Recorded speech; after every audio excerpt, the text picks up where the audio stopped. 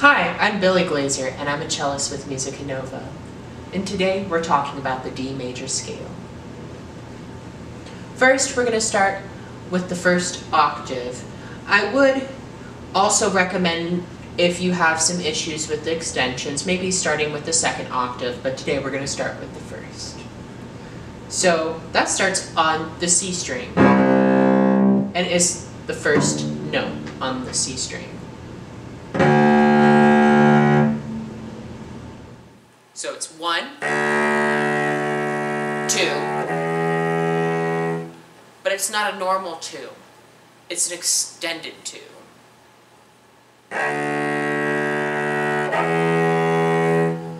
What does extending mean? That means we are putting the two where the three is and we are opening up our hand.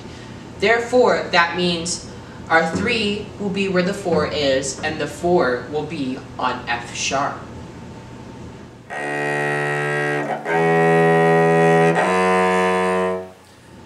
And why do we have F sharp in this key? Well, there's two sharps, F sharp and D sharp. So also, on the G string, it's going to be the same pattern. But when we get the second octave, things are a little bit easier. We can close our hand down. It's back to one, three, four.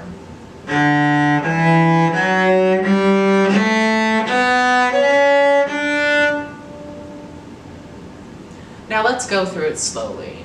One, extended two,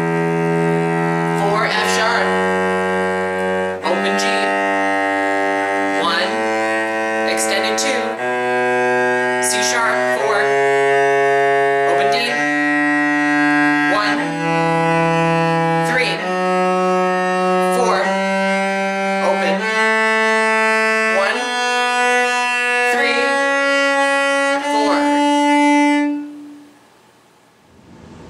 Now we're moving on to broken thirds. So we're starting on the first note, which is D. We count the three, which is F sharp. So we have to start right off the bat with the extension. So we still keep the extension because we want sharp still when we go to the A. So just remember when you're looking at your scale packet that the extensions need to stay in some areas.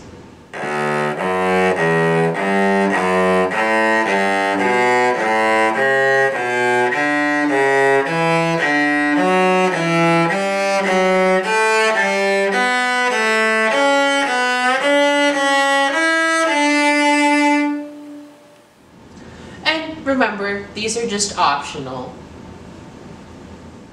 Now we go to the two octave arpeggio for D major.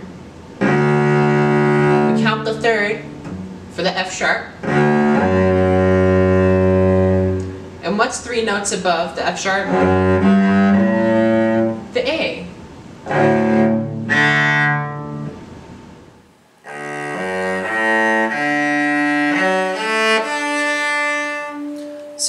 the extension on these strings and then we lose it when we get to the D and A.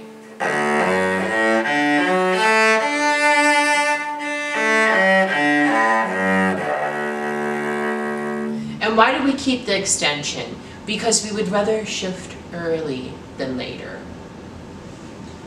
Thank you so much for watching. Have a great day.